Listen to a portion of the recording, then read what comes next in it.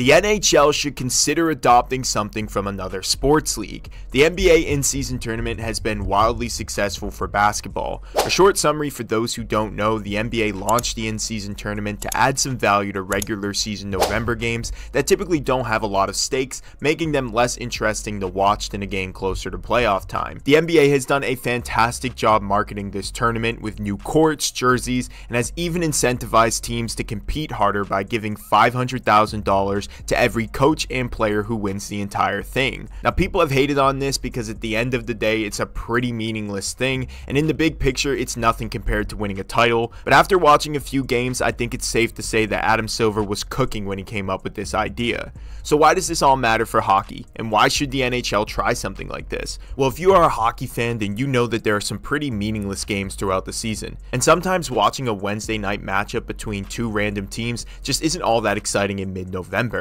By adding an in-season tournament with a player-based incentive, you could create a playoff-like atmosphere early in the season which would get fans excited for hockey in the early part of the year. The format would be like the NBA, four games for every team based on division in a round-robin format leading up to a knockout round where only four teams advance to a winner-takes-all situation. I've even seen people talk about the idea of having these final three games centered around your yearly outdoor games with the final being the Winter Classic, and let let me just say that would be the perfect idea for this style of tournament. Not only would you have your Winter Classics yearly, but you would add an even bigger stake to them, making them even more exciting. It's a win-win-win situation for the league, players, and its fan base. Now, would this be a lot of work? Yes, but would the NHL and its fan base have a lot to gain from this? An even bigger yes. Not only would this provide publicity for the league, but they could also market other things like new logos, jerseys, and maybe even specific ice styles for the in-season tournament,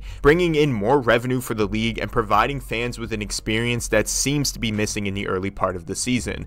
I really like to give my opinion on these type of topics and I'd rather leave the takes to you guys, but I'm a very big fan of this idea and have loved watching the NBA in-season tournament this year, but I want to know what you guys think about this whole thing. Are you a fan of the NBA in-season tournament and would you like to see the NHL implement something similar or are you not a fan of this idea and think that the NHL should stay away from this? Let me know your thoughts on this in the comments below, like this video, and subscribe to the channel. I will see you guys in the next one.